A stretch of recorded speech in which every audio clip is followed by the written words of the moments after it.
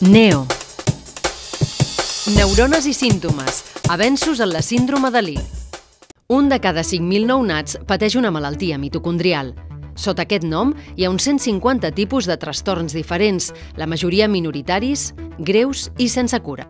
La causa de les malalties mitocondrials és la deficiència de proteïnes que es troben dins dels mitocondris, uns petits orgànuls encarregats de generar l'energia que necessiten les cèl·lules per funcionar als diferents teixits i parts del nostre cos.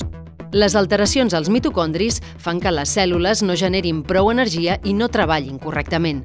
Les cèl·lules del cervell i les dels músculs, que són les que més energia consumeixen, són les més afectades en les malalties mitocondrials. Però encara s'està estudiant quin tipus de cèl·lula, en no funcionar bé, provoca cada símptoma concret. Identificar les cèl·lules implicades en els símptomes i el seu paper en el desenvolupament de la malaltia és primordial per trobar possibles tractaments.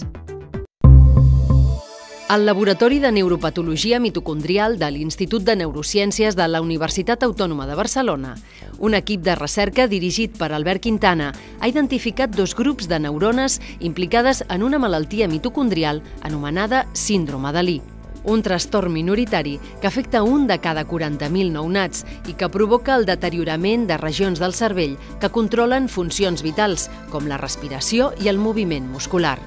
Per fer la recerca, el doctor Quintana i el seu equip han generat tres models de ratolí de la síndrome de Lee, cadascun d'ells amb un tipus de neurona diferent afectada. Observant els símptomes als animals, han pogut identificar el paper de cada tipus neuronal en les manifestacions de la síndrome.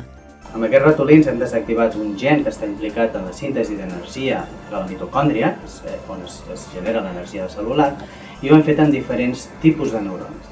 Quan traiem aquest gen en neurones excitadores glutamatèrgiques, el que observem és que es provoquen tots els símptomes motors que veiem a la malaltia. Quan el treus a neurones inhibidores o GABAèrgiques, el que observem és que hi ha una aparició d'epilèpsia.